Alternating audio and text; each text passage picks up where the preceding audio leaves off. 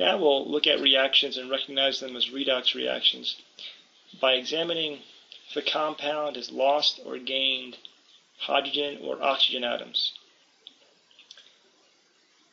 If oxidation has occurred,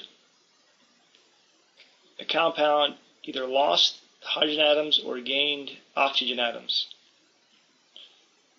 If reduction has occurred, compound either gained hydrogen atoms or lost oxygen atoms. So let's take a look at these two compounds here. Yeah, C4H8 and O2 producing CO2 and H2O.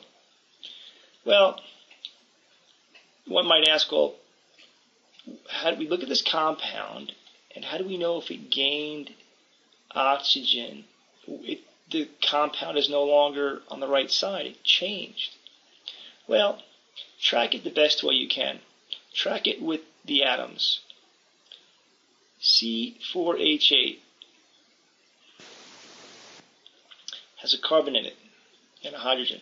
It has carbon and hydrogen in it. CO2 has carbon in it, but it no longer has hydrogen. Okay, so it would seem that C4H8 underwent oxidation.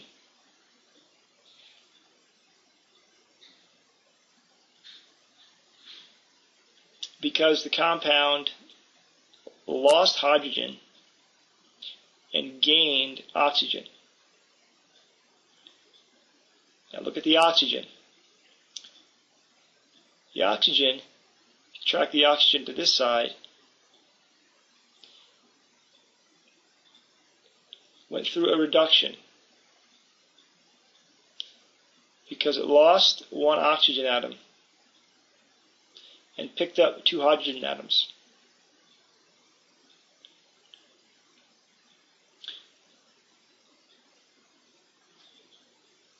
Here's a reaction I'd like you to try.